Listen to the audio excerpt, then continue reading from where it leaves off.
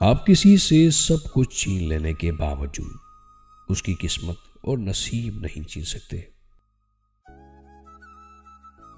जब कभी मायूसियाँ महसूस होने लगे तो खुदा पाक की मेहरबानियाँ याद कर लिया करो। खुद ब खुद पुरसकून हो जाओगे। जो कमालात अल्लाह ताला ने फकीर को अता किया है, दौलतमंद उन कमालात से महरूम होता है।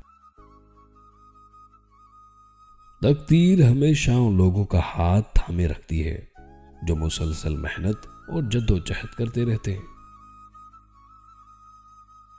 जो लोग फैसला बदलते रहते हैं, वो कभी कामयाब नहीं होते। कोई भी बदनसीब नहीं होता, बस हर एक का नसीब मुख्तलिफ़ होता है। सबके सामने अपने दुख बयान ना करो। लोग आपके साथ रोकर सुनेंगे और फिर दूसरों को हंसकर सुनाएँगे। मोहब्बतों के मुतबातिल नहीं होते।